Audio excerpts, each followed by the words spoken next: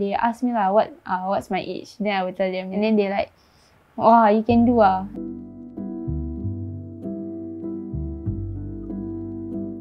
For me, I don't think uh, trauma cleaning, not many people know is because like, you know, like normal people like you all like will think like it will be done by the police. Yeah, but it's actually like family or maybe the police will request to call the trauma cleaners and all.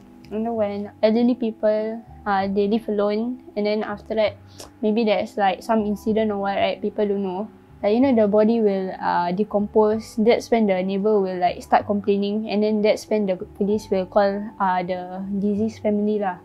And then that's what uh, that's when they will call us to clean it after the clearance from the police lah.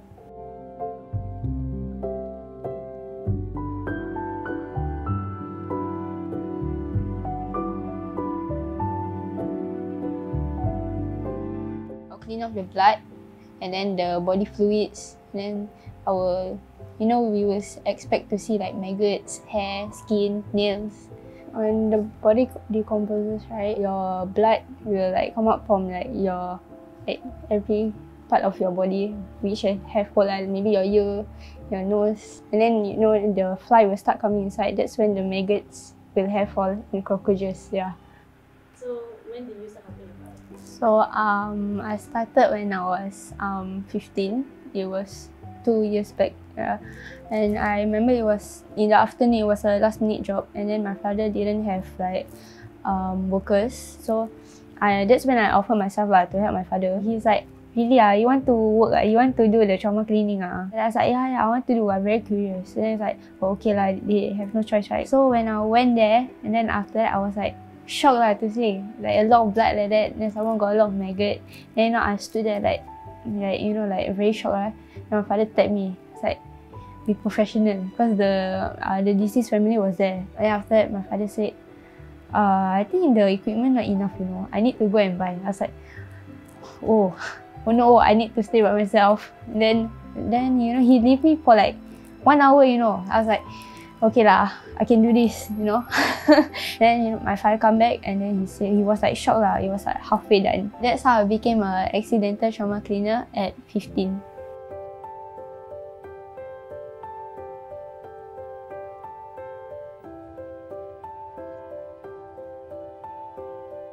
What was the most disturbing case you handled? I think it will be the murder case. It's like when you're there, right? Cause you can see the blood, all right. Then after that, you know, you can imagine how the how it started. Cause it started from the master bedroom. I think it's from the bed. Cause I think the person get stabbed by the on the bed first. Cause the bed, and then after that, on on the floor, and then it was uh, dragged uh, all the way to the hallway, and then after that at the dining area, uh, kitchen, and then the last place I think was um the service yard. Yeah, and the service yard was like full of blood. You know, it's like fresh, fresh blood. You know, it's not like decomposed uh, body fluid. Can you imagine? Yeah, I'm quite shocked also, I didn't know. Yeah, there's one case that um after doing the uh, cleaning right, you know, I need to find a place to clean the equipment right, and then I was like, oh shit, the toilet is like full of boxes, full of clothes. Cannot go inside or you know, it was like blo- blocking the walkway. So in the end, we need to throw all the equipment. How do you think you have helped like the deceased families? you know when the first time I came they're like they're like shocked lah um uh, I'm a girl and they they ask me lah what uh, what's my age? Then I will tell them. And then they like wow you can do ah. And then like yeah then you know after the job really can see you know from their face their expression can see like they are very satisfied with the job that is done by me and my father yeah. So last time it's like once a month or maybe like two months like got two cases like that. Then now it's like every week ah every week got cases. Like tomorrow also we got cases yeah. Do your friends know about your job? Yeah, they know about my job. I will show them lah the photo. Uh, uh, my friend, he was uh, also curious lah. So he asked me to ask my father if he can join for the next trauma cleaning lah. Then my father said can. Then after he help out for I think two or two to three times I think. He's like he cannot tahan lah. It's very hot lah. Very hot. The boys right, they sweat a lot you know. Some also ask me, then but then they also don't dare to do. Uh, for the girls, they ask me like, you not, you not like um disgusted meh? Just like disgusted lah, but like okay lah, not like used to it already, like normal lah. Then you know they will ask me, is there maggot? Is there cockroaches? I was like, yeah lah, got maggot, cockroaches, but protected what with PPE, but like not scared lah like that. So they are surprised that I can do this job. Then that time I need to meet up, you know, with them. Like it was like right after the trauma cleaning. Then we need to go, we go makan, watch movie, alright. Uh, they asked me, hey, you already shower? Ah? Then you know, I was like, yeah lah, obviously I already shower. Then you know, they, they really need to double confirm. They like, really I shower already ah. The disease um neighbors right, they were like, you know, first time they see us right, not wearing PPE, they are like, okay lah. Then after after we wear our PPE all, they were like, avoid us, close the door. They will talk to us like, but like from far, yeah. But then some of them are like okay lah, cause they know what happened right. It it doesn't disturb me lah. What were your relatives' reaction when they first learned about you doing what you're doing?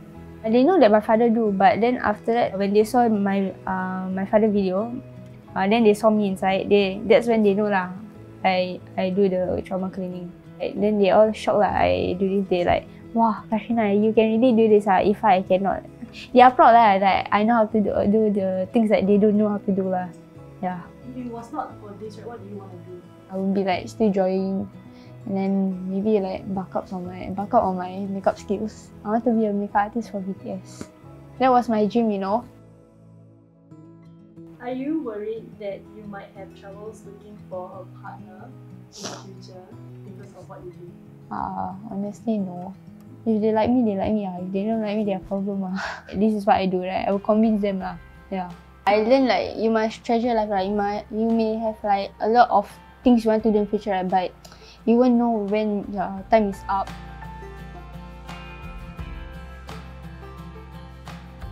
Most of the time, I, I'm at home.